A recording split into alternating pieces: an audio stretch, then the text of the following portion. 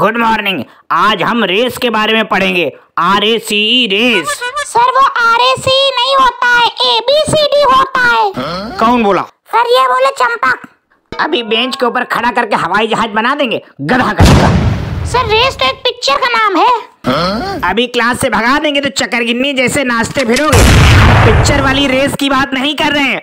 हम are A C race की बात कर रहे हैं। सर ये आर रेस है क्या?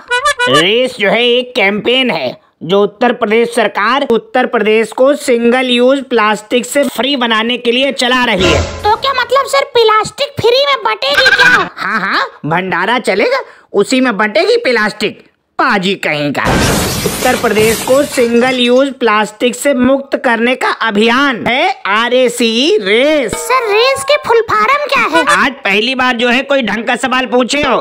रेस की फुल फॉर्म है reduction awareness circular engagement sir थोड़ा डिटेल में बता दो।